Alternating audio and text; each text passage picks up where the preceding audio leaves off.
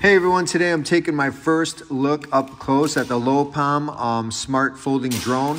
This is 14 plus suggestion, but you know, if you have a kid that's a little younger and you help them out, you should be fine.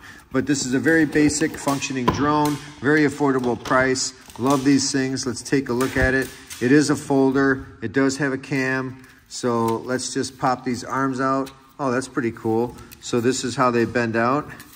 Um, really nice and this is what you end up with with your drone. It's uh, fairly lightweight. Battery has a little substance to it, so it should last a decent amount of time. Let's pop that battery in once. And it looks like you have um, a few sensors here and there. You got an antenna sticking out. And then, of course, you do have your camera and some LED lights, which is cool. Let's turn it on and see what we get. Oh, wow, nice. Got a light show going. That's super cool. So you have some nice LEDs some good response. Kids love that when you see this flying through the air. That's going to be a ton of fun. So really nice. I'm, I'm excited about that. Um, you do have some guards if you choose to put these on. These will guard um, from damaging your propellers if you choose to put those on. Some people do, some don't.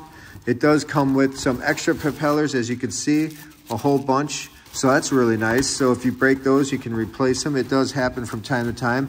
You have a second battery. This is a very comprehensive kit. I love it. So you have two batteries. You have safety guards. Um, you have replacement propellers. Awesome LED response on this thing.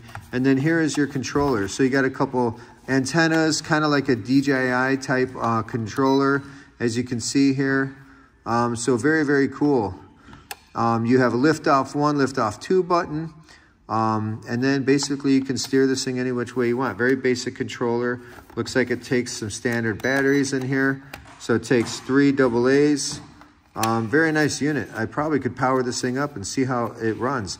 Let's uh, get outside and take a look. But yeah, it looks like a really nice item from uh, Lowepalm.